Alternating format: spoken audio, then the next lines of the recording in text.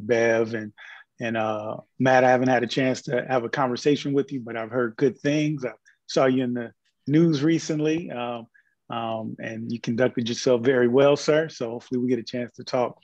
Um, um and and so, one, I am a big advocate of restorative justice, and many of the many of the things that we're doing um, um, are aligned with that, um, at least underlying those policies.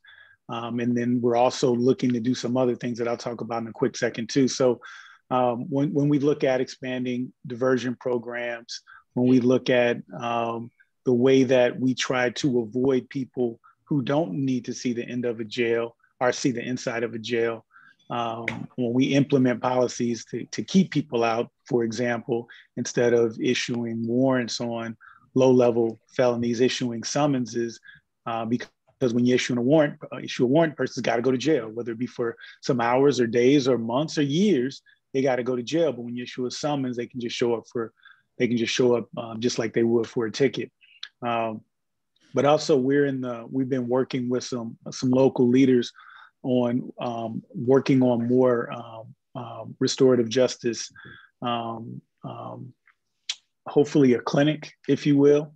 Um, that's something that we would that we you know we were, were hoping to already have established, but COVID has slowed us down, obviously. but we understand that restorative justice brings resolution and closure to all parties involved um, not just the uh, the defendant getting a uh, you know maybe some alternative to incarceration, but what we found is that is that restorative justice also is beneficial for the victims because they get an opportunity when they when they choose to um, talk and and um, talk to you know and have those discussions and conversations with the and with the defendant present uh, where they can um, let the defendant know how that impacted them, and that can also often have a, a that can often have a um, a positive impact on all the parties and bring that sense of closure and and and and and the feeling that one is heard. So, big advocate of restorative justice, something that our office looks to do uh, much more of, and and I'm sure uh, the other uh, the other panelists have more to say on that too. Okay, so Mr. Uh, Ms. Harber, you've seen what those programs and how they work from your perspective as a public defender. Can you show, share with us what, what the impact is and if it helps, does it work? What does it do? How are we doing that? Sure. Um, and again, thank you to everyone for participating today, for attending, and, and uh, it's nice to be included in these types of conversations because they're important and they're really critical to our community this isn't just about those individuals that are um, involved in the criminal justice system, uh, but it really is about the community because I think what people often forget is, you know, you look at it and you say, oh, those people, those people, whatever that means. Um, those people are your neighbor and uh, your cousin and your sister. Uh, those are people that that we all care about, and so making sure that there are alternatives to to the system and to getting stuck in what we've all heard about is you know the cycle of jails and prisons um, and courtrooms and so some of the programs that mr bell was talking about we've seen here in the county have um, benefited our clients there is always more to do and i don't think anyone would would deny that but uh, i think what's important to remember is that a majority of the cases uh, that involve people getting criminally justice involved are due to not wanting to be a criminal. Most people don't want to commit crime. They are dealing with substance abuse. They are in a um, unhealthy or an abusive relationship. They are living with mental illness. And those things, if not properly treated, can often result in you being criminally justice involved. And that's the programs, that's the focus um, that we have seen for our clients that can really make a difference. Uh, we have clients, it's not uncommon to have a client that has four or five stealing cases pending, maybe in St. Louis County. And then they have a stealing in the city, they have a burglary in St. Charles. And you're like, what is going on? They don't want to steal, they're not excited about stealing. They have a substance abuse problem and they need drug treatment, or they have a mental health issue and they need to be hooked up with services to provide mental health care. And uh, what Mr. Bell's office has um, tried to champion and, and is doing is allowing us to argue those issues for our clients and making that part of their um, of their case so that instead of saying you know what? Just send them to prison which is not where they need to be uh, we're looking at being able to get them more involved in programs. And that's really a great thing for the individual for their families like mr bell said for the uh, the victims as well uh, and for the community as a whole because now we're creating an environment where people are re-engaging in their community and putting uh, value back into their community. And that's really um, that's really what this is about. And um, prison is not the place. Most folks don't go to prison and come out a reformed contributing individual. Uh, most folks that go to prison come out angry because they didn't get anything that they needed while they were there uh, to help improve their situation. So um, getting involved in the community and having what we often you'll hear us talk about wraparound services uh, is really the difference for those that are criminally justice involved. So how do we how do we work with that, Mr. Mahaffey? I'm going to come to you. We are, are, you seeing any programs in the city that may look or, or be uh, restorative justice, and how are they working? What what's the impact that you're having on your side in the St. Louis City area? Uh, good question. Thanks again for having me. Sorry for that glitch there. I'm back home in Iowa, so I had to switch to internet connections. Um, there's not much internet because there aren't many people here. Um, the we there are some available in the city. Uh, there and and Miss Gardner's office has started to they're implementing a lot of diversion programs there. Um, I think in terms of the traditional definition of restorative justice, I don't know if that's there. Are, there are a, there are a few that are available there. Um, there is one that is going to be launched in April. It's called the Freedom Community Center. It's going to be run by Mike Milton, who is currently a, uh, a managing person at the Bail Project.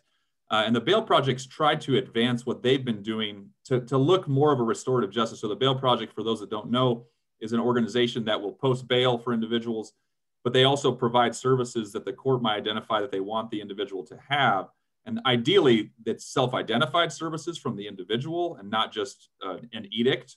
Um, but mike is leaving the bail project and this is public knowledge so i know i'm not disclosing anything i can't to start a place called the freedom community center and he's hoping in april. And the goal behind that is to start engaging on cases that i think traditionally we don't think about as cases that would be available for alternative disposition.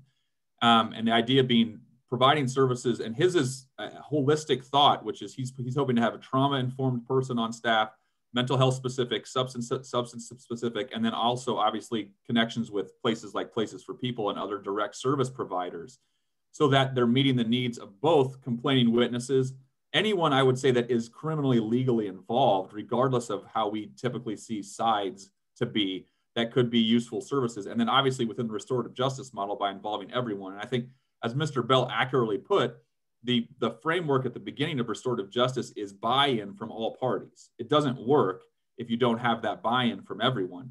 So I think it's his the goal I've been talking with Mike about in other places that are doing this is that you present to the court a holistic plan that is involving everyone involved in, in a situation from the onset and hopefully diverting that almost immediately. I mean, I think part of, I don't know, I won't speak for Beverly, but I think one of our ideals would be that we're not involved in some of these instances because because maybe a charge hasn't been issued. It's been identified as a possibility but then there's processes being worked through to accomplish hopefully a positive outcome that doesn't involve the normal involvement with the criminal legal system. So let me push back on that a little bit. Just just just a little bit. Just as a devil's advocate somebody's got to do it. Some it's got to happen. So here we are, somebody's been caught murdering somebody and you want to give them a diversion program. Is that that what I'm hearing? Okay, no, no, no, no, no. Tell me, no. tell me, tell me what it is. No, we we we um um we're talking the low level nonviolent crimes. Um drug possession, as Bev talked about, and things related to drugs. Drugs, and keep in mind, I think it's estimated somewhere in the 80% range of the cases that come through the criminal justice system um, have something to do with drugs, whether it be possession or stealing for drugs, as was talked about earlier, something connected to it, and, and mental health. And so we have so many people who they start going into the cycle of incarceration and they come out with a worse, worse substance abuse issue, a worse mental health um, issue, and they um, and they graduate to more violent crimes because we're not giving them the support that they need. Now, once someone crosses that line um, of violence and harming people, they're going to have to be held accountable. And and that said, we're still going to be fair with them, uh, but you know we're going to have to make sure that we're doing the things that keep residents safe. So, um, absent um, um, far and few um, um, exceptions, we do not we're not talking about your violent and serious offenders. And and i'll even say this shira real quick. We had one individual who assaulted a, a person uh, um, and his wife actually. And we don't take those into um, domestic violence. But the public defender asked for us to consider this one because there was some special circumstances. They had been married 20 years. There was absolutely no history and the victim didn't want him to be prosecuted. She just wanted him to get the help and advocated for that. And so that's one where we took to our diversion advisory committee that we work with uh, with the uh, diversion uh, council of St. Louis, and that's one that we we made an exception to. But that's one. But aside from that, we do not. Um, the, it's we're talking the low level violent offenders that we're trying to get on a different path um, to get them out of the the criminal justice system. Okay. So murderer, Shira, come on now. Not right, right. But it's but I appreciate the question. I know the question's out there. Here, and I'm trying to make sure that we get all of that information out because it's what people hear when they're thinking, yep. somebody robbed me blind. I lost a household full of furniture, and you're going to give them diversion, and nothing happens. I want to make sure that when we talk about it, that it's clear that you're uh, uh the population about which you're speaking. So to just push back a little bit more, um, you're supposed to be Mr. Law and Order. How is it that you can balance keeping citizens safe, an election, and a diversion project? And I'll say the same thing to the public defenders. How is it that you just want to let people out on the street and run wild, rob me? Because because maybe I don't have a gun, so maybe they're not killing me, but they rob me. That I'm I'm I'm I'm out of my food, I'm out of everything, and, and will just lead to anarchy. How do we, what information can listeners have to negate that or to understand what it is you mean when you're saying diversion programs and how you balance keeping citizens safe with those diversion programs? Ms. Harbor? Sure. So I think um, so. There's a perception of public defenders that that, exactly that, right? Well, they just want to let everybody out on the street. I, am not familiar with that. Um, that that's that's not what we do here. Um, but what we what we do, and, and I understand that that is, if you're not in, informed of all the different moving parts, it might look like that. Um, but that's not what's happening here. I think as public defenders, um, what we are trying to do and what our goal is, number one, is to make sure that every single one of our clients has the rights that are afforded to them under the Constitution. Because when they're charged with a crime, that does not mean they're guilty of a crime. It means that they've been charged. And it's just something that is important to remember. When people are sitting here in the county jail, I'm in here in the jail building right now, we have about a thousand people here in the jail. 70% of those people, approximately sitting in the jail, have not pled guilty to or been found guilty of anything. They are literally sitting here waiting for that determination to be made. And when we are talking about diversion programs and um, holistic representation and wraparound services, we're talking about why is this person here? Is it a choice of something that, that they got involved in? Wrong place, wrong time. Like we said, maybe a drug problem, maybe an untreated mental health issue. And these are people. And I, it's something that you have to remember that we're not just talking about numbers, we're not talking about statistics, although the data is important and the data will show you that when people are released, uh, the MacArthur Safety and Justice Foundation, if you're not familiar, is something that everyone should look into. Um, they have been collecting data for approximately five years on some of this exact issue of, well, we're just going to let everybody out and we're going to have anarchy. And that's not what the data shows. The data does not show that you release these folks on these low level in Missouri, we're talking about C, D, and E felonies, and that the community falls apart. It's not supported by the numbers. It's just not. Uh, and that's something that you have to hold on to because I think we all can admit now that if you watch the news, the headlines or would tell you that the world is literally falling apart. Um, and and I have to believe that that's not actually true, and the numbers support that that it's not true. Um, and and so I think that's something important to remember, but also that these are people, and most of them um, aren't have not, like I said, pled guilty or been found guilty of the crime that they're alleged to have committed, and it is just an allegation. Um, and I think I something I tell my clients when I meet with them early on is, I'm not here to judge you. Uh, and I recognize that, but for maybe two or three decisions in my life, I'd be sitting behind the glass in, in a jumpsuit. There's very few differences between myself and some of my clients. Um, I'm someone's daughter, I'm someone's mom, all of those things. Um, and so are they. So I, I, I understand the perception of we're just letting everybody out and the world's going to fall apart. That's not supported in any data. You can't find data that shows that because it's not true. Ms. Mahaffey, you're in the city, got all these people, gonna give them free money, free programs, free everything, and and that's after they've done that. How do we, how do you, as a public defender, how do you work with that and still uh, push back against the notion of you know you're just going to give them social work out of everything and all this money and all these free programs how do we push back against that kind of a notion please uh, I don't know if I'm going to push back on it. Sure, I might push back on your on on your on your question to me a little bit. Um, and obviously, Mr. Bell and, and Beverly and I will will probably fall in different places based on just what our mandates are to to accomplish here. But if you look at some of the the, the data from the Department of Justice, especially recently from the Vera Institute, um, it shows that I mean, and it, it's not universal. I agree with Beverly on that, but but for the for most most cases or incidents, I mean, you, you used murder one, which in Missouri has the only punishment available to it if you're over the age of, of you know 18 is going to be life without prison. So that's a pretty extreme example, obviously. But for most cases, data would suggest that if you can engage with that individual in a meaningful alternative way, you will produce an outcome that is better than the traditional route of, of, of, of what we think of criminal justice. So I do think that, and I will say I'm also biased because I am a, I have a master's in social work, and I know Beverly's mom was a social worker for decades. Um, so I think there is a ma- massive benefit for treating this differently than how we treat what I would say the health industry, which is we treat the health industry not as a preventative industry, but as an acute industry. You come in with a major problem, and the issue that is underlying it wasn't talked about or addressed or, or prioritized, not by just the individual, but by society in general to prevent that from happening. So I think the goal is twofold. Beverly's absolutely on point. Our role is we are representatives of our clients. We are not the leader. We are partnered with them. They are leading because it's their case. We don't have to do the time if something happens there.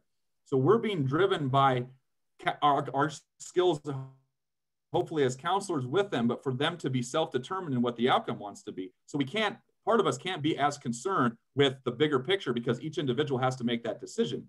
But with regards to what we hope to see available to them, I would say I would love to see diversion options continue to expand to include the, the pop, those populations and those those alleged those offenses that we have not included in the past. Um, you know, acknowledging Mr. Bell's rightful thing, like his job is to take into consideration community safety, and he needs to do that from the perspective he has. Our clients obviously are looking for ways to improve their lives and their specific position within the criminal legal system. And so we're, I mean, I'm on board with everything that we can do, and especially the ones that are being data driven.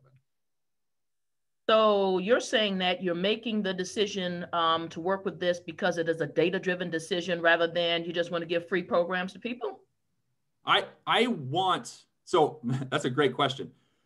If a client says to Beverly or myself that they would like us to see uh, us to explore something, um, and it exists, right? It's not unethical for us to do it. We have a duty to do that whether or not there is going to be strong evidence behind it. but when when we're thinking, I think for me, when I'm thinking about bigger picture stuff that isn't the micro level representation of a client, I also want to be part of providing to the court, to the state, um, to society as much evidence and data as we can to suggest here are outcomes we're seeing on these situations which are different than what we've thought about the possible outcome would be so that we could expand it. And obviously, if the data is different, that it's going to be tough for us to use that. But I think right now, from what I'm seeing from places like Vera Institute, there is op- there's, there's reason for optimism to start broadening who we include in these. I think it's also really important what Matthew's talking about. So, um, you know, in regards to criminal justice reform, we're just getting started, in my opinion and there's a lot left to do. And so right now, some of what it's doing, it appears to be reactive, right? Someone gets charged or does something, and then we provide services. I think what the goal is, at least for me, I think, you know, for public defenders is eventually putting the work in on the front end to get these programs available. Make them all free. I don't care. That's great. Because the goal is that people will not continue to engage in the criminal justice system. They won't be criminally justice involved anymore when we get these services out there. And that only benefits the community long term. So, although it may seem a little front loaded right now, um, it should continue to be that way because if you start, if you create these programs, you set up the foundation and the network for it, um, and then you start to get people before they ever get involved in the criminal justice system. That's the goal right now we're trying to catch up a little bit because criminal justice reform wasn't a thing 20 years ago people didn't talk about it. Instead it was punish punish punish um, and so right now yeah it may look like oh, we're just giving them everything. This is big picture. This is for our future. This is for what this community is going to look like in 20 years when the individuals that need help and that can be um, it can be recognized before a crime is committed, that the services are there. Uh, so why would we not put every single penny that we have into getting that set up? Uh, so that someday Matthew and I, I still want to be employed, but I'm okay if I end up being employed in a different manner. I'm okay with that uh, if that means that our community is in a better um, in a better situation. And um, I want to jump in on that too because there's a lot to unpack in that question. It's a really good and interesting point. Um, and first, to put some perspective on it, um, having worked on both sides, and I mean, they know this as well. In, in the criminal justice system, you need good people on both sides. Um, when and and when you have good people on both sides, um, you tend to get the more just outcomes. Now, on an individual case, we we're going to see it differently, and we're going to go at it, and that's what we're supposed to do. Um, but on these broader issues, there is a lot of space for us to work together because I think we do all agree that there's a better way to do it. And so, to the point of the law and order, I've never claimed to be um, a law and order prosecutor. As a matter of fact, Shira, I don't even know what that means. Um, it's just rhetoric. It's just it's just uh, empty language. Um, what we know is that if you want to if you want to try and give meaning to the law and order, um, philosophy, then we have a whole generation uh, of case studies to look at. And we see the highest criminal, uh, the highest incarceration rates in the world. We've seen higher homicide rates. And so if you want to um, uh, give credibility to the law and order philosophy, well, what we've seen is that it doesn't work. And so um, as a former public defender, um, you have to keep in mind our roles are different. Um, when you're a defense attorney, you have to represent the interests of your client. And that means if that person is charged and even they told you, hey, I'm guilty of murder, they still have a constitutional right to representation. And if we're going to put people in jail, we have to make sure that there are people that are standing there as safeguards to make certain that that individual that that individual's rights are not abused. And and you know maybe it's the difference in they not you know if they're innocent they get out but maybe they're guilty but maybe there's some mitigating factors that instead of a life sentence maybe something less. Um, so when i talk when i look at myself as what i consider a progressive minded pro, uh, prosecutor to me what that means is that we acknowledge that there are more tools in the toolbox than just incarceration and a prosecutor is not, and, and uh, Judge Draper made this point in his uh, recent, um, in the recent ruling that came out with Lamar Johnson. Disappointing, um, disappointing uh, conclusion, but I, but there were some points that they made in there that he made specifically that I agree with. A prosecutor's role is not to just lock people up. A prosecutor's role is to seek justice. And if we determine that an individual just has a drug problem and, the, and they need help, then that's what justice looks like to me. And the last part to the cost, I think Bev made a very good uh, a point when, and to, to the point of the question of, well, making it free and giving them everything. What we find is that it costs somewhere in the range of 30 grand a year to incarcerate an individual. When we give them these types of this type of treatment and access, we're saving ten to fifteen thousand dollars per individual. When we decrease, and that was when I say we, I mean uh, our population review team, all of our stakeholders, which includes Bev and the public defender's office, when we decreased the, the jail population as high as 30% before COVID, and still now it's been decreased by 16%, that saved the county millions of dollars. So the costs are not just long term. We're already seeing a savings in costs now, again, COVID has slowed us down because the, the criminal justice system has come to a halt. Judges are in a prob at a, at a at, in a in a bind because, um, as both Matt and uh, Bev said, individuals that would be out because their case would have been resolved now are sitting there because they can't get a trial date, they can't get cases moved, and so that's causing a, a problem. But as far as costs, it, it, costs less to give these types of alternatives. It saves taxpayer dollars, but most importantly, it helps people. And, and, and at the end of the day, that's where that's what is that's where I'm that's always my north star. Does it help people? And that help means it helps families and all the collateral positive benefits that come with that. It is $87.50 a day to house someone in the St. Louis County Jail. It's more than that, Bev, actually. That's the estimated cost. No, there's an estimated cost when we did the research and, and that number's there, but there's so many other collateral costs right. that drive that that way over a hundred bucks per day per individual. But yeah, it's it's it, the, the the cost saving is on the other end if we give them diversion and we give them these alternatives to incarceration. And let me add this part, Bev. I'm sorry, I didn't mean to interrupt you. Um, let me, but let me say this last part what we've seen is that when you give individuals, when, when you keep people out of jail, they're less likely to go back. When we talk about putting people in jail makes them safer, we've seen the complete opposite. A short stay, a stay in jail increases the likelihood they're going to come back. And so the diversion programs that you speak of, the population review, jail reductions, the people that we've given treated to have given have a, a recidivism rate of less than six percent as opposed to 70% across the country when we talk about recidivism rates. And I think what Wesley, so and and he's right, that 8750 is the is the bare minimum. If you're in the jail right. and you require nothing else, well, that's not what happens. exactly. Healthcare, nothing. Yeah, when you you need a band-aid, when you have a swollen this, a broken that, an extracted tooth, whatever, you're looking at well over $33,000 a year to house yep. someone in the jail that really might just need a better medication plan on the street, right? They hooked yep. up with BJC behavioral health, they get a better meds.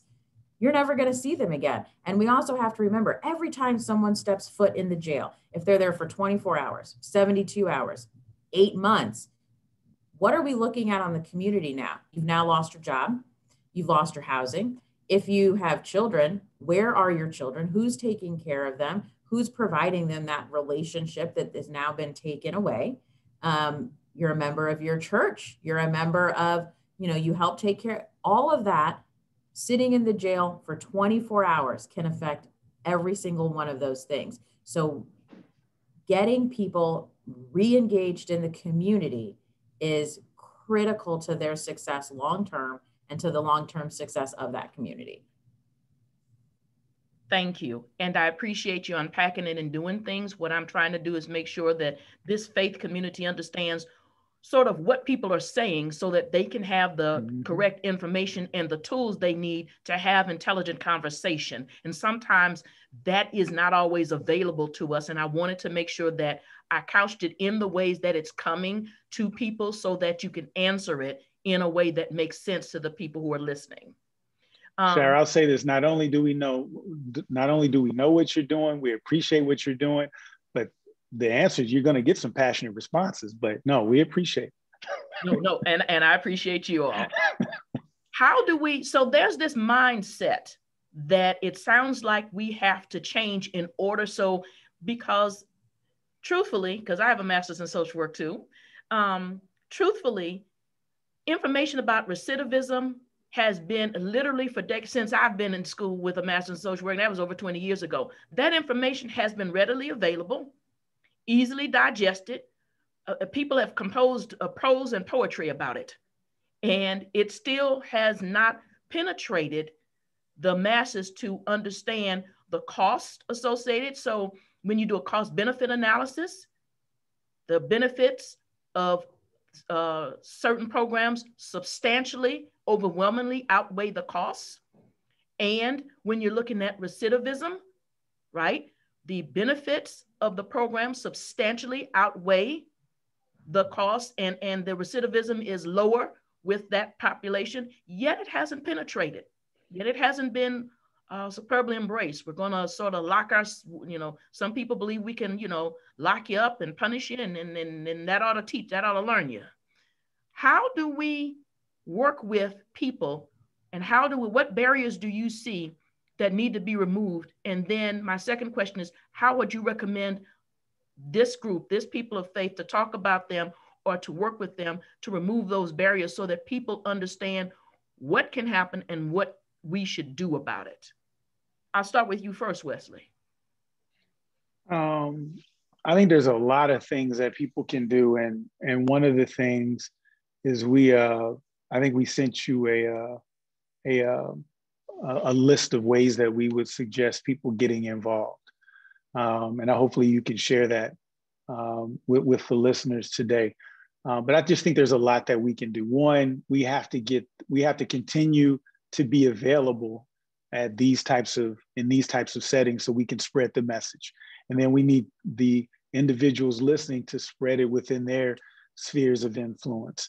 Um, one thing that we were um, fortunate to receive uh, is the lead grant which is the law, Enfist, law enforcement assisted diversion grant um, which is all about uh, working with law enforcement to keep people out of jail educating in uh, departments and, and right now we're working with two very diverse departments, Afton and, and uh, Jennings, um, to, to teach officers and show them the different ways that we can um, um, that, that we can get individuals to, to the help that they need without locking them up. And that includes bringing social workers. We hired the first social worker um, in our in the history of this office, but the lead grant has now allowed us to hire two more social workers to connect individuals with uh, these sources. And so I think that in addition to those those those things that we talked about, I think it's important to understand the why behind what we're doing, and that's why these kind of settings are so important. We talk about our policies,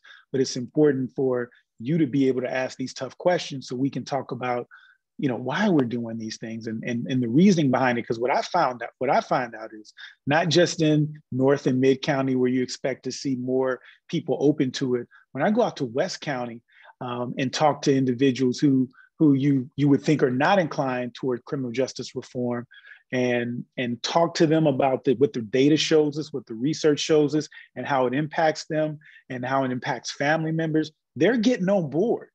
So I think it's just a matter of us getting the message out. And that's why I'm appreciative of opportunities like this to talk about it. Mr. Mahaffey, what do we need to do to remove some of the barriers to getting this information to the public, in your opinion? I tend to think that what we're doing right now is an enormous starting point. Um, and, and I, I guess knowing that like Beverly and I go to church across the street from one another, um, I think about the faith communities that we're both part of, which are kind of tied together in many ways and the conversations that have that, that we have there and maybe some of the struggles and pushes we have with each other there. And i think it to, for me it starts at that level. Are you engaging as an individual with the, the the individuals that are in your circle of people right? Because i think wesley made a great point when he was talking earlier, and it, it, just triggered in my mind the thought that we tend to protect our own. I mean, sure, you asked a good question about why haven't we seen the data that you've seen since you've been in social work school. I, I graduated in 2005. It's the same stuff that I was being presented, and it has very slowly expanding. I think Beverly was right to say we're at the beginning, right? So how come it hasn't been faster? Are we expanding the circles that we're talking with? Are we are we also taking risks and being courageous in when and how we present that information? Are we taking opportunities like this to engage even though we know that there might be some pushback and there might be some challenges that come with it?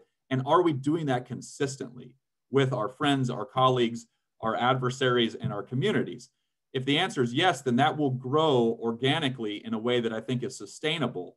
If we're expecting it to come from our traditional power structures i would suggest that those exist to protect themselves. And we've seen that. I mean, how long did it take for a person of color to get elected in the prosecutor's position in the city of St. Louis and the, in St. Louis County? Um, it's it's designed to insulate itself and be that. And I think it's incumbent upon all of us who are trying to think differently about it to make sure that we are engaging with that thought process in, in every aspect of our lives. Well, and I think you know we're here and we're ha- we're talking about having a real conversation, right? And and some of these conversations uncomfortable are uncomfortable. So let's be uncomfortable. The reason that the data hasn't gotten out there, the reason that the community as a whole hasn't supported it is because for the last 30 years, it only applied to young Black men, right? It was only Black men that were doing these things. It was only young Black men that were these big, bad, scary criminals that were messing up the community by robbing people and killing people and on drugs. Scary Black men. That's not accurate okay? And that and and and and i think anyone engaging in this conversation and willing to have that uncomfortable conversation and say well wait a minute. That is not an accurate description of what's been happening.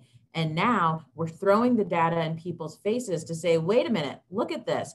It's white white individuals asian americans latino like pick pick one. This isn't um this isn't just a certain race that is that that is committing crime.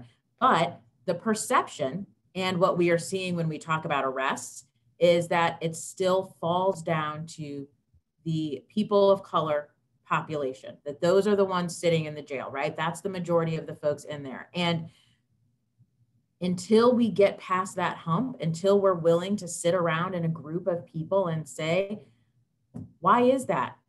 Why why why are we looking at more black people in jail than white people? Then then none of this is going to move forward. It's it's it's just not. And so this starts that. And you know our country has gone through a lot in the past year um, much of it very tragic. Out of those tragedies come conversations and um, come a willingness to see yourself, right? We've been talking about people that want to protect their own. You start to see yourself in that situation, or you see your son maybe going down the wrong path, or whatever it may be. And that's that's the momentum that we have to build on because that's when people get engaged, is when they see themselves in that situation. Um, and we don't want anyone to be part of the criminal justice system, but I most certainly want you to realize that you could be. You really could be. Something bad can happen. And now let's talk about if it were you, protected, you know, safe little haven of a place, nothing bad ever happens, and now something has. What what happens? Do we throw away the key and put you in prison? I hope not. I hope we do the same thing for you that we would for someone else, which is look at the services and look at what you really need. So it's uncomfortable and people have to just say it, right? You just have to say it. Black people are in jail. Black people are in prison at numbers significantly more than any other race. Thank you, and thank all of you. I'm going to go to uh, Christine Dragonette. She has the questions that are in the chat, and and gonna make sure that we get the questions from the people who are here with us to uh, answer. Christine. Yes, thanks, Shira. Um, first, I would just direct everyone um, to the question and answer feature where you can see that some of the questions are being uh, answered by text. Thank you, Mr. Mahaffey, for being attentive to that. Um, I'll get to the couple questions that are maybe lingering from there. But first, we have quite a few questions around this idea of restorative justice. Um, the first one, there's a couple that are related. Someone asked, is there support for the restorative justice initiatives from other state and local elected officials? If so, who might that be and or what does that look like? And someone else asked, um, I assume this is St. Louis City, which mayoral candidate will better support restorative justice? I, I, I want to tackle the first one. I'm, I, I'm respectfully to the person that asked the second one. I'm not going on record there. Um, uh, the, but to the first question, and I'd love to hear too what Beverly and, and Wesley have to say. Um, yesterday on NPR, if people, if anyone heard at noon, they did a, a talk about the public defender's funding system. Um, and it was interesting because the person on there, there was the head of the ACLU, and then there was a Republican representative from O'Fallon. And they were pretty much on the same page most of the time. Uh, and I think part of the the answer around restorative justice and these ideas that we could have alternatives to incarceration, there's some common ground here amongst people that sometimes you might not think have it. Um, because the representative from O'Fallon was thinking about it from a money standpoint too. Like as, as Wesley and Beverly pointed out, the, the data suggests we're going to save money if we are looking for ways to reduce incarceration. And that's that was music to this guy's ears. And then obviously the ACLU was looking at it more from their perspective too, make, making sure we give quality representation for people, which is, eh, I think Beverly would agree with me. It's much easier to provide creative and engaged representation with someone when they're not incarcerated. Because if the only thing a judge ever sees from someone when, from their time of engagement is this person as an incarcerated individual and they never have a chance to see what they are like as a non-incarcerated person other than the, what you can tell them about their history, it makes it harder to have to for that person to be their humanity to be lifted. So I think I think there's grounds here for us to agree that restorative justice is a place that we can develop and would be beneficial to both, I guess, political ideologies, for lack of a better term. And I, I will, I'll, I'll, I'll talk about both of them. I'll go on record and talk about both questions. Uh, and the first one is, I want to make sure that we uh, when when I'm given some context that when I'm at when when we're having a discussion, uh, you know, about politics, it can be we know it can be very divisive, and so what I'm about to say is there's a distinction between a a citizen out there who identifies with the Republican Party. That's not who I'm talking about. I'm talking about um, Rep- Republican leadership in Missouri currently. Now, there, it is true, Matt is absolutely correct that there has been some uh, common ground. And there has been some um, push on both sides by, um, um, by elected officials in Jeff City. However, the overwhelming majority of that push is coming from Democrat leadership. Um, Republican leadership, we get some push, you know, some um, cooperation, but in many ways we come to a just a complete halt, particularly particularly when it comes to police reform. Um, you cannot get a police reform, even if it's a reasonable police reform. And again, my father is a retired police officer. Many friends are police officers. I have the utmost respect for law enforcement. That said, I think that just like if any of us do anything wrong, we're going to be held accountable. I think everyone should be held accountable. And when you uh, try to get a um, any kind of police reform bill out of committee, or, or, or to the floor to vote, you're never going to get it out of committee um, uh, because the, the, police reform committee is filled with ex-officers, officers' wives, officer lobbyists. So you're never go- it's never going to see the light light of day. And so um, if we're going to have an honest conversation, we got to say, yeah, we know that there are many Republicans. Shamed Dogan is a Republican who is big on criminal justice reform, but by and large, um, I don't know many Democrats at all that are not for it, but I can name a lot of Republican leaders. And I'm, this is not taking a shot at residents and citizens. We're talking about elected officials. Uh, the second question with respect to the mayoral election in St. Louis City. Um, I, I, I, know uh, one of them a little. I've met her. She seems like a very nice individual. I know Tishaura very well and I've had conversations with her about restorative justice. So I know, based on conversations that I've had, that she has actually even initiated at times that she is um, an advocate for restorative ju- justice practices. Um, and I know that's something that she will join and talked about, not just in the city and working with uh, uh, Circuit Attorney Gardner, but even regionally. And those are the conversations that we had have been having. Is that we know that we have to start looking more regionally, and that's one of the things that we I have actually had a conversation with her uh, myself about on that particular topic. But that's not to take a shot at the other person. I, we're not doing that. I'm just saying that I know, uh, based on conversations that I've had directly with Tishaura Jones, that that's something that is um, um, on, on her agenda, if you will.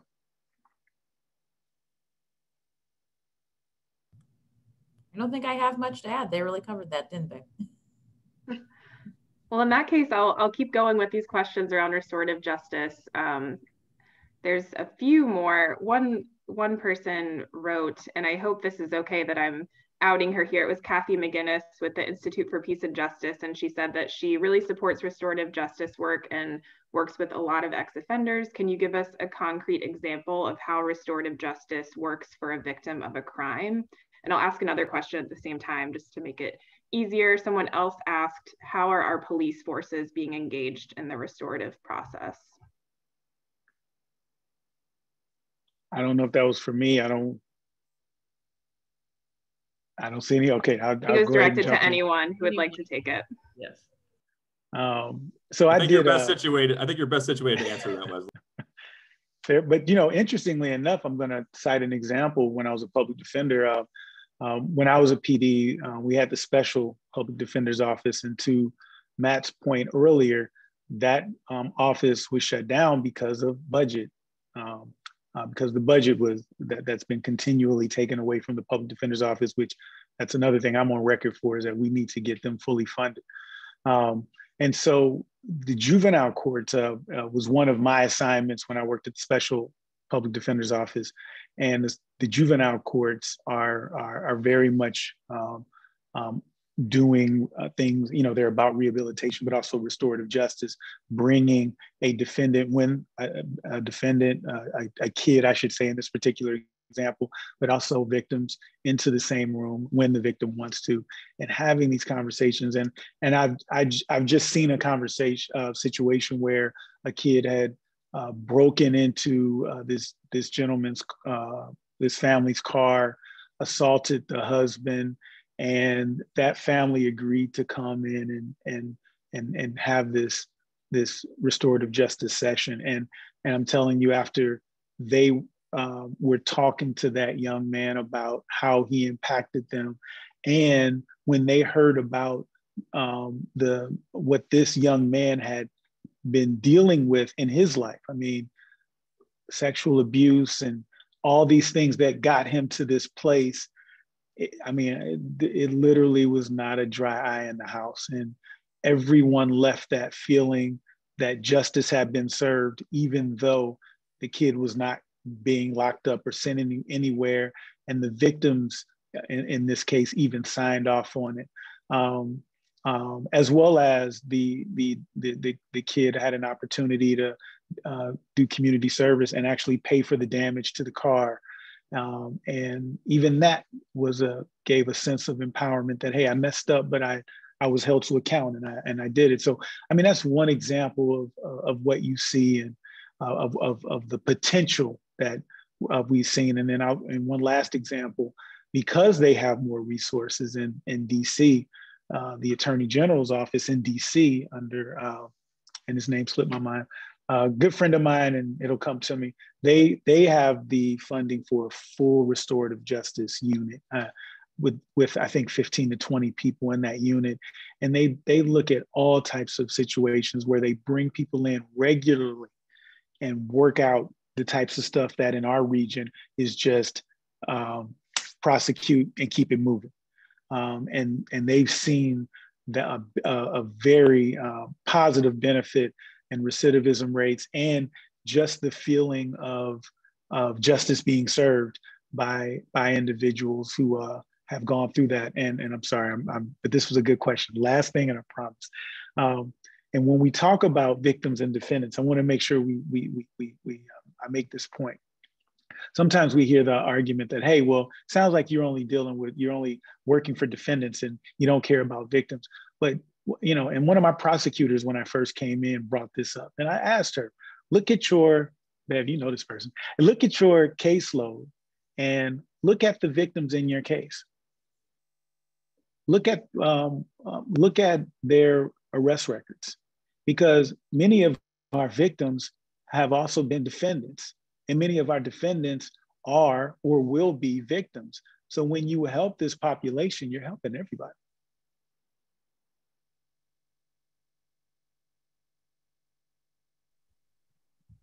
Thank you.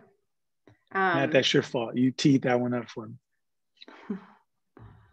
We have a lot of questions coming in, so I'll just keep going if that's okay with everyone.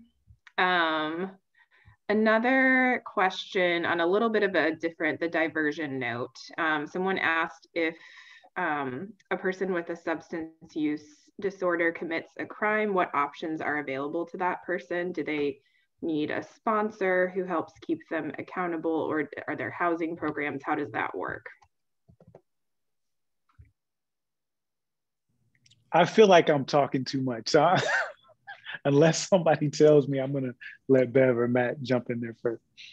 I think that's a good one for you to start, Wesley. I can try some things that we've seen that have been helpful, but you've championed the programs in the county. So, uh, you know, I'll let you roll with that one. Matt, are you signing off on this, sir? I, I, can I can talk about the city just briefly, um, oh, and, yeah. then, and, then, let you do that too. Sure, that, that's that's great. Um, I think part of the question for so so Christine, can you please repeat the question just so I make sure I answer it and not go off? Yes. Um, when someone with oh, I just deleted it here. Um, someone with a substance use disorder commits a crime. Um, what options are available for that individual, and how are they held accountable, basically? So uh, I'll start with the first part, the options, and then the accountability. The, in the city, um, Kim's office has done a, a, really good job. I give her credit on this, uh, very much so, in developing different levels of engagement with people whose primary issue that she, her, her staff feels are, are substance related. And one of those issues has been to try to get some, I guess, education and information to that person, sometimes pre-charge, sometimes pre-conviction. Um, and if that engagement happens, then those cases resolve themselves. Um, so that's I think that's one way that the the circuit attorney's office in the city is engaging with it. There's a lot of community organizations obviously that provide substance stuff, but I think of important note on the accountability question part.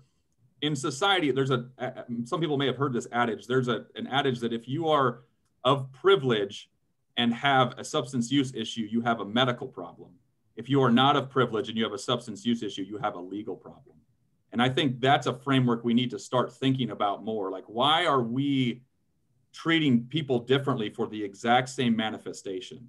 Um, and I, I, think that's part of why Kim has started to roll this out, which is, you know, we can't we can't be having this two two types of societies in terms of how we view the use of substances, um, because that's kind of how we've led to, as, as Wesley accurately said, if, the drug laws have led to a lot of where we are right now. Um, and I would say that's you know there there's some things that we're doing well regionally, and I would say in the city and the county that's something that we're doing well. Um, to Bev's point earlier, still got more to do, but that's something that we're doing well. And so in our office, no, you do not need a sponsor.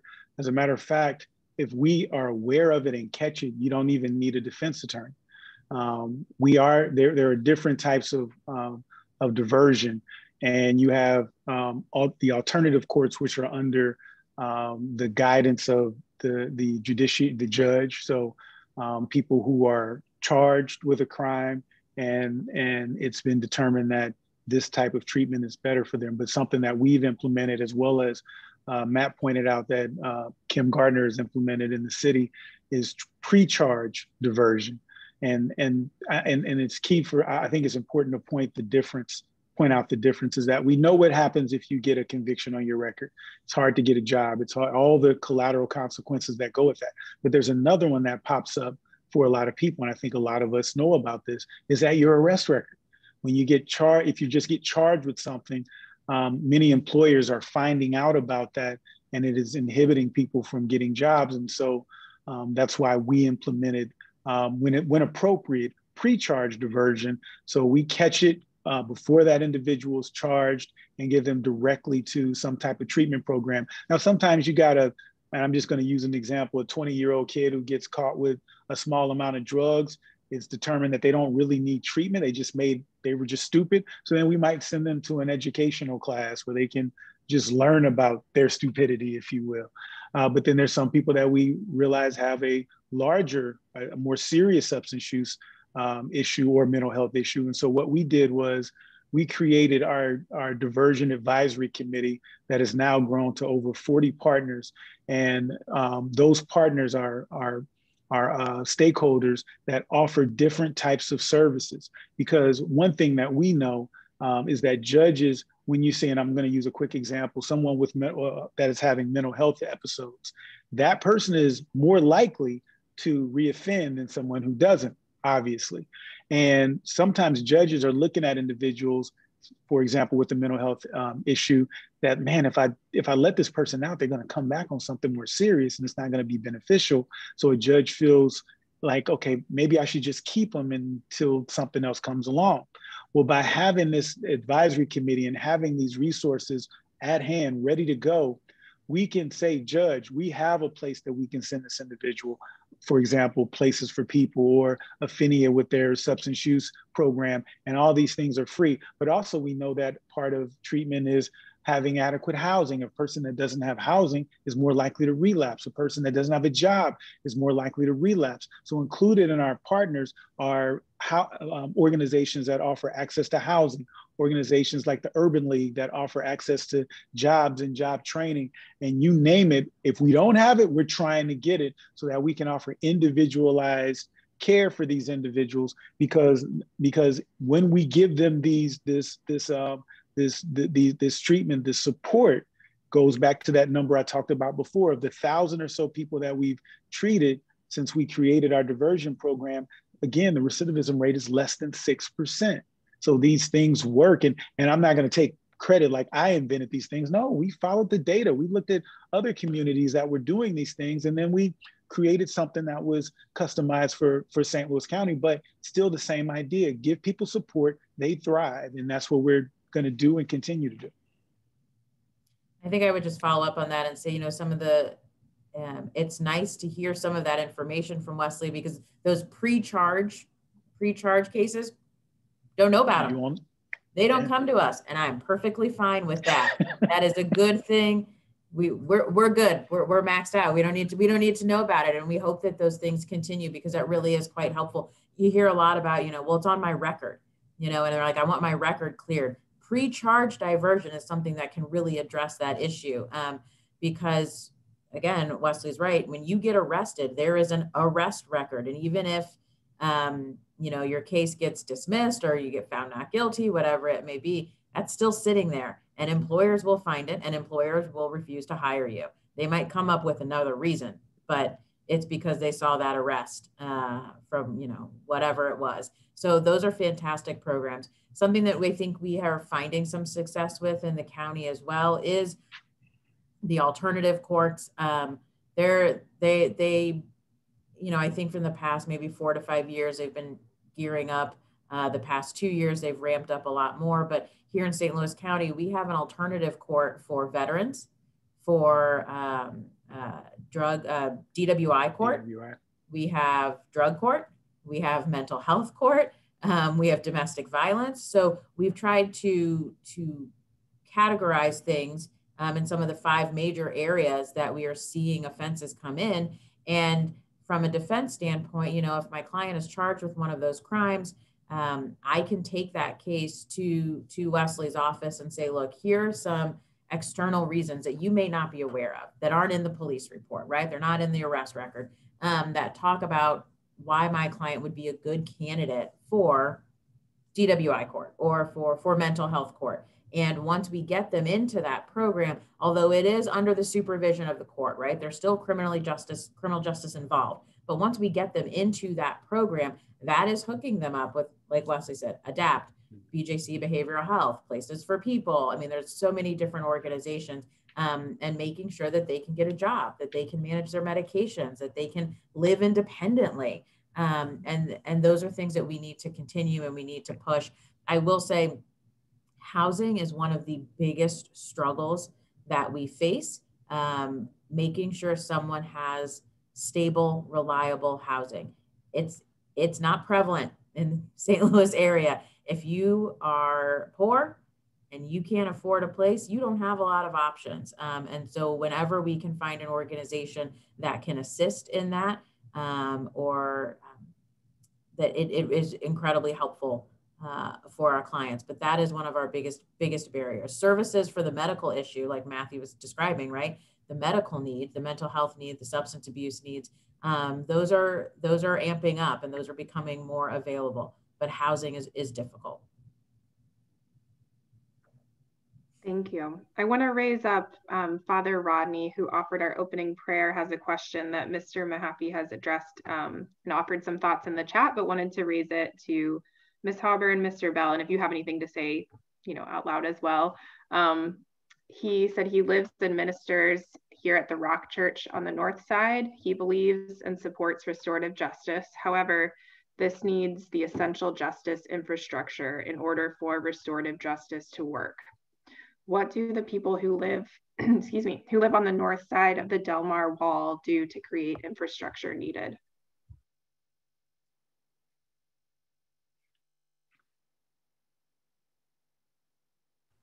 Mr. Mahaffey, can you share the answer that you gave with with everybody, and then if anybody wants to chime in, just so that people know. Sure, sure. I just I didn't think it was an adequate answer, so it was why I wanted it to be brought to Wesley and Beverly as well. I, I mean, I, I, I am truly excited about what what Mike Milton is going to bring because his his his community his Freedom Community Center is going to be on the north side, but it's but one place, right? And the question is, how do we get funds to flow that way? And my my my answer to to Father was people with the with the resources have to care about both the idea of restorative justice and that community. So uh, my answer was that political involvement seems like we've got to push politicians that have access to those funds to get them that way. But I think that that's a weak answer, and that I, I imagine those communities have tried that for decades and have been unsuccessful because they don't have the the money that that entity wants to see present in order to do what they're asking. I think it goes back to, I think, I mean, I think Matthew hits it on the head, unfortunately, and we don't like to hear this, but so much of this comes down to money. And um, this is something that we discussed a little bit earlier is, and, and it's hard for people to commit to this, but you got to front load some of this stuff to get the result on the back end. So how do we convince the folks with the resources and the legislator to put the money in now? Say, put it in, because if you put this money in, we are going to see, we're going to reap the benefits of the reward, right? Like it just takes time. Um, and and I don't have a good answer for how to to get them on board, how to get them to follow the data that we've been talking about has existed for 30 years, um, and how to get them to care about every member of our community, not just some. Um, I I wish I had a good answer for that, but um, Unfortunately, I think a lot of it initially comes down to money and also comes down to something else we talked about earlier is seeing yourself within the problem. Is that um, I think in the in the father's questions, you know, he specifically started stated right the north side of the Delmar wall. Well, if you're not on that north side of the Delmar wall, then there must not be a problem, right? I think some people really can choose to put those blinders up, and we know that that's not accurate, um, and that that's not how it should work but I think for some folks it does. And that and that creates a that's a problem. It's just a problem. And and I would I would uh, echo uh, both of their uh, their answers and um, but also add that um, you know much of what happens that this question is getting at happens upstream of the criminal justice system. By the time that they come to my office, by the time they're um, applying for a public defender. Uh, much of the damage has been done. Not not that they're not, we can't still help them. We can, but much of what you're getting at in this question has been done, and so that's why it's important to me to not only talk about criminal justice reform and and the reason why we need to push this narrative, but also to use my platform to try and help those those things upstream. So you'll see us involved with the Urban League and food and food drives and and working with St. Louis Diaper, I think it's Diaper Association, giving out diapers to to young parents who can't afford them. Um, um, advocating for early, more funding for early childhood education because we know about the pipeline to prison. Um, and so, yeah, there's no easy answer, but I think for for all of us, we all have an influence. Some of it smaller, some of it larger, and we got to use that the influence that we do have to push for these things. And the uh, the the uh, and Shira, did you get our um, our uh, ways to get involved document? I did not, but what we do have, because we send something out every week, but what we do have is a way to send them to the attendees after because it, it you have awesome. to register for it. And so if any any of the three of you want to offer something, we can certainly send it to the attendees. And then if they uh, if anybody else comes in or does anything, we always we it, we can make it available to others as well. And so um, we'll get that, and I appreciate that. And so just, you know, there's 10 things that we sent, but a couple things that I just want to say are um, one, um, writing letters to the editor, small stuff like that, especially an organization like this and members to talk about how important these issues are, because that starts putting pressure on other elected officials and other stakeholders and the people that Bev and Matt talked about who have the money. But also, criminal justice reform has to be a voting priority if you're going if you're going to vote and this is like your fourth or fifth priority then guess what? We're not going to move the needle. Um, i can't think of anything more important than um, to vote to, to vote for than individuals freedom and and and and and having the rights that we all should have um, uh, that were discussed earlier. And so those are just two of the things that we that will will get to you all to get out. Uh, but um, i think those are two important things to start with well, and I'll say, you know, um, I think Wesley's right, right? Getting getting to the folks that um, allocate the resources. They need to be pushed to uh, reconsider how they're going to do that.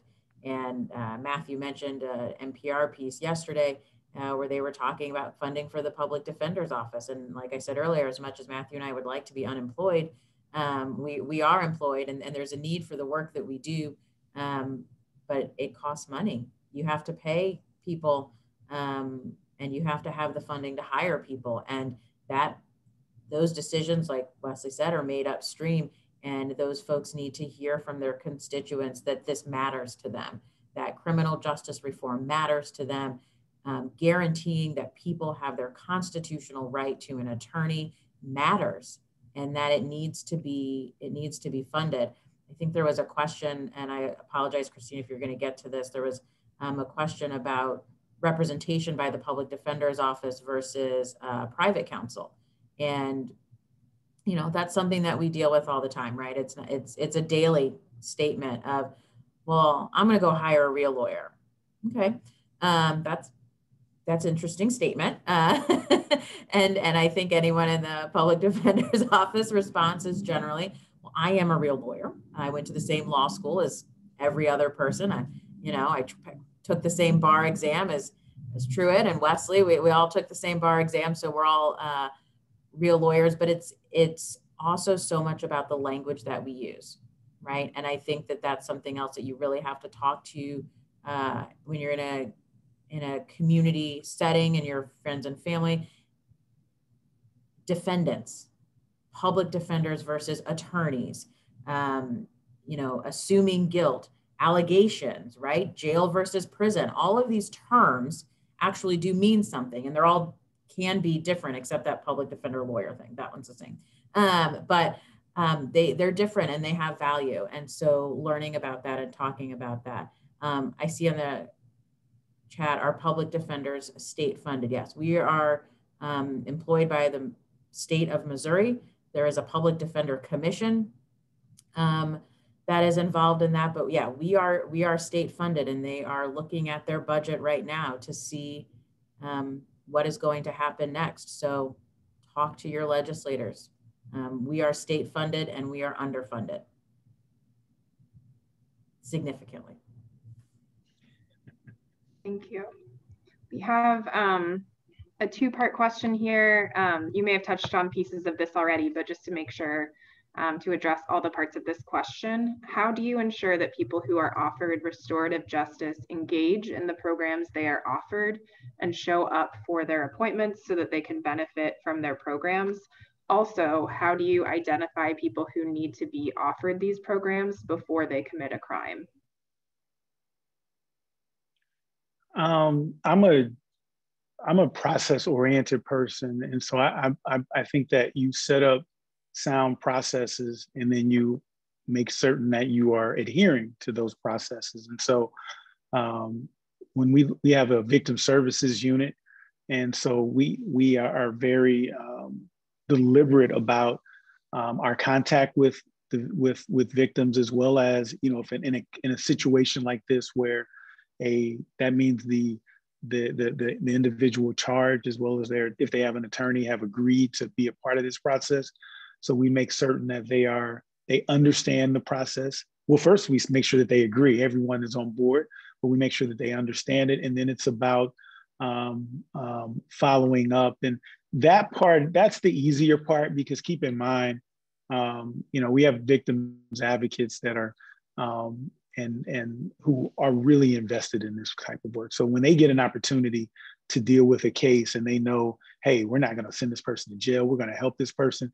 I mean, that's motivation for for those individuals, and so that's the easy part. And identifying them, you know, that that's trickier. And I think that we have to open up the ways um, that we um, identify these cases. If we just say, hey, when our office sees a case that we think is eligible, we're going to miss a lot of cases. And so, you know, we encourage defense attorneys, public defenders, um, private citizens to to make that request with our, with our office. We may not may not always agree, but we're open to those recommendations, and we've had um, recommendations from Defense Counsel, public defenders on an, on, an, on, an, on numerous things that we've looked at. Um, so I, I think create a process, make sure that you're working that process, be flexible to change because things are going to always come up. Um, but then, and then also be open to the to the ways that you identify these cases and err on the side of more than less.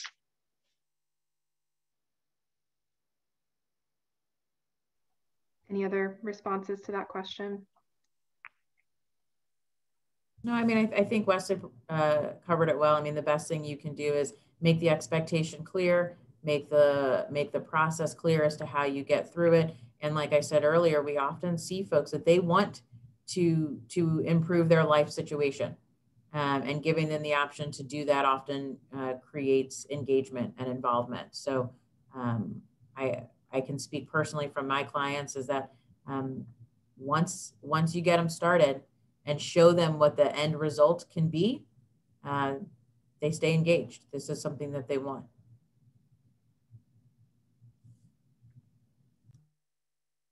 Thank you.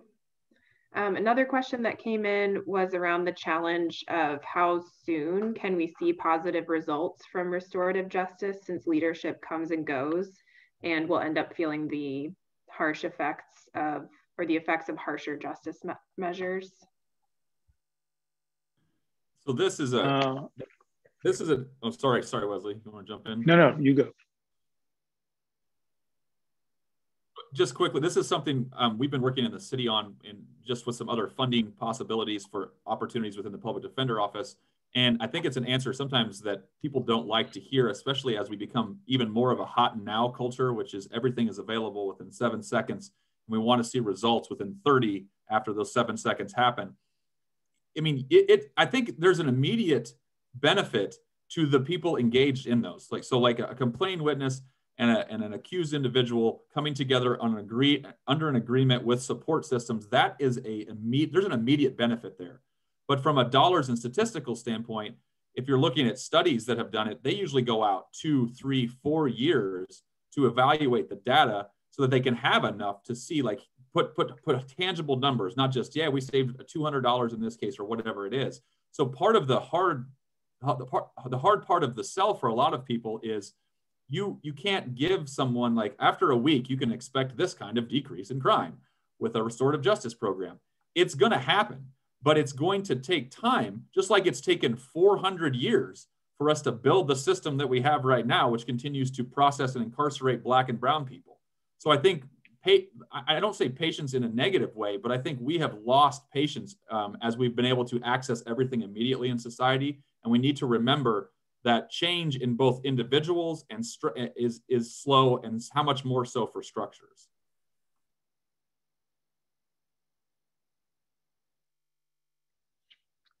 Um, you know, I, I, I think both of them have kind of hit the, the, the nail on the head. Um, many of these restorative justice practices are already being implemented um, in many ways. When we when we're looking at um, diversion that, that's happening in the city as well as in the county, many of those um, um underlying have underlying restorative justice practice components, if you will. Um, but as you know, Matt and Bev both pointed out, if you want to see more broad uh, restorative justice clinics and things of that nature that we're looking into, yeah, we're going to need we're going to need the funding.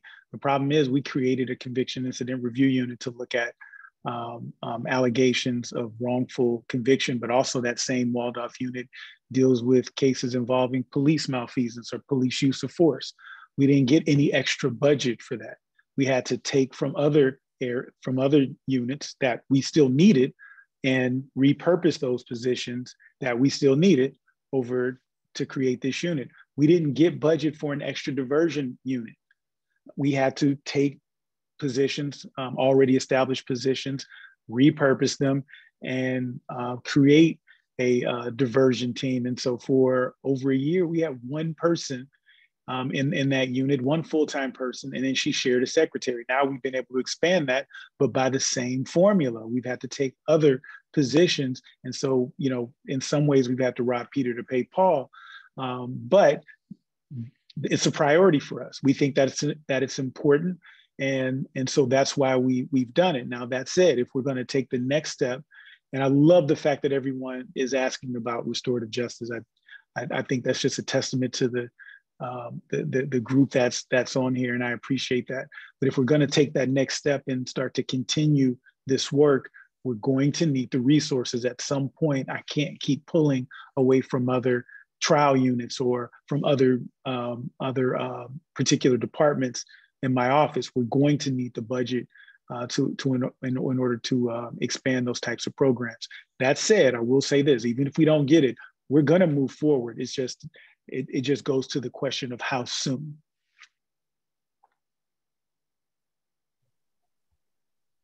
Thank you. Um, this next question involves an acronym that I am not familiar with, but I assume you all will be. Um, this person is asking if you can speak to the MIP program and how you all might support them or partner with them. And if someone could, uh, could share what the MIP program is, that would be great. Is that an acronym that you all are familiar with? I don't know what it is. Um, the person who asked the question, Mike Jarvis. Um, Are we talking about the the um, the misdemeanor? It's a misdemeanor intervention program. I've heard of that. Is that the MIP they're referring to? I always thought it was a minor in possession. That's what I thought. well, that's a thing too. Well, maybe we can come back to that if we get more clarity um, that person wants to share in the chat. And, and it sounds like that might not be a question that you all can address right now, uh, but feel free to circle back to it. Um, someone asked if we can report, well, this is very specifically asking if we can report on the news, um, but maybe just in general, the numbers and cases where restorative justice have worked for both the offender and the victim. it only works if it works for both i would say that like that's the design of the system right it can't it can't just work for one otherwise that that's restorative justice hasn't happened. I don't have access to data on that because I, I, I just don't. I could try to look for it but i, I did want to clarify that in the question.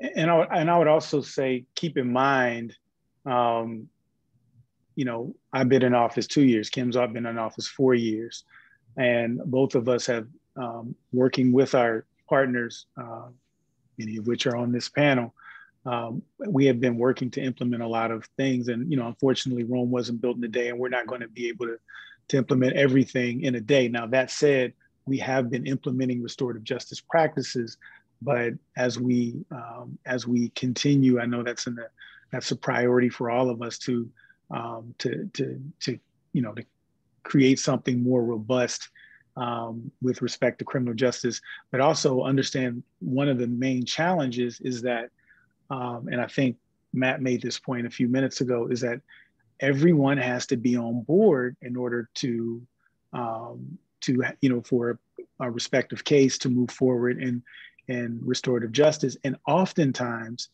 victims of crime don't want to do it. And we've had several situations where we have offered it and our victims are like this person robbed me or this person assaulted me. I don't want to see them again and we can't force them to do that and then there's even times that few defendants have said we you know i don't want to do it um, so that, that those are some of the challenges, but um, and I, I feel you know I know we're repeating ourselves because this question comes up, but I think it's a really good question.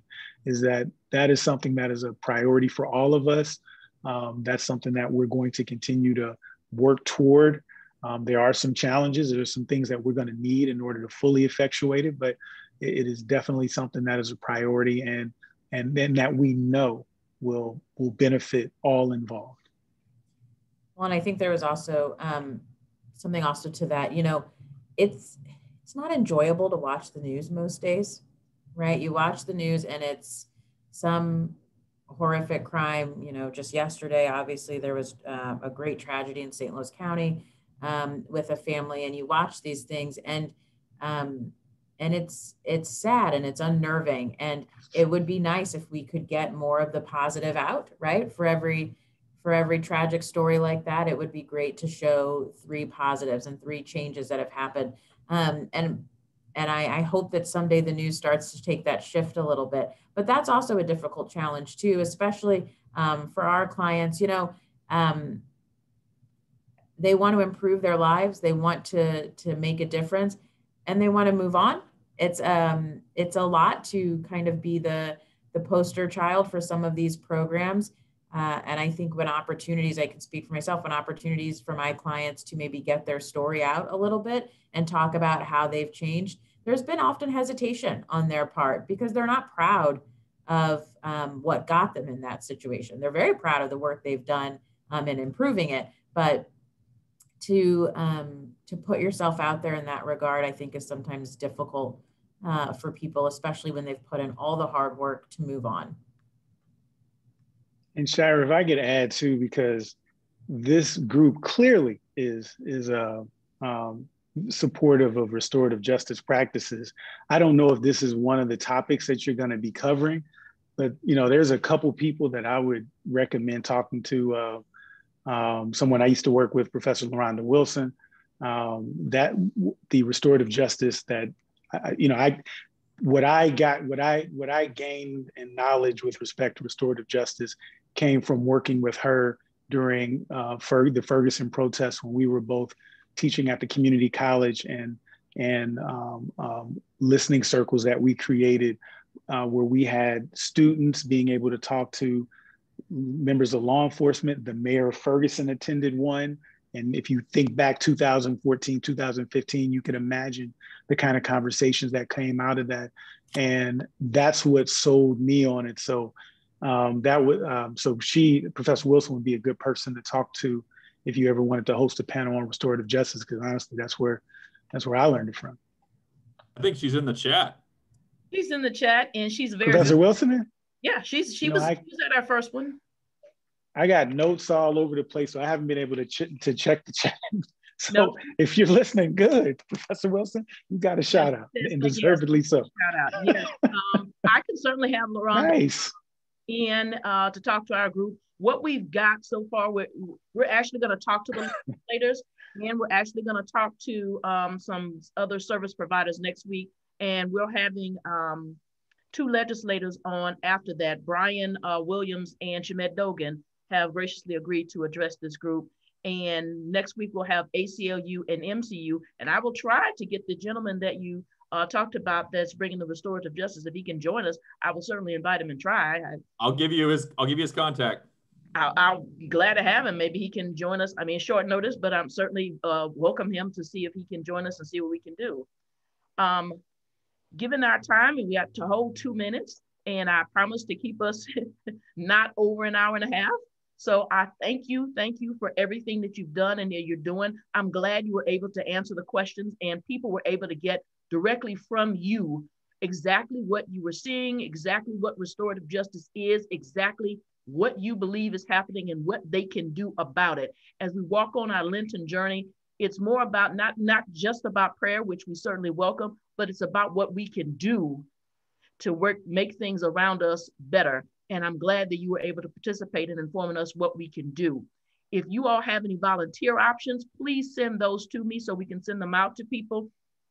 If they can serve on any of the panels as community members that you offer, or you want us to serve as a conduit to continue to do those things, this is just a ministry for me, but I can put it through the peace and justice committees of several of the churches, particularly our own, so that if you're looking for people to volunteer with you, if you're looking for people in the city and the county, because both of our churches have uh, people that belong in the city as well as belong in the county. It's just that the churches are located in the city, but we're from everywhere, including some of our members on from Alton, Illinois.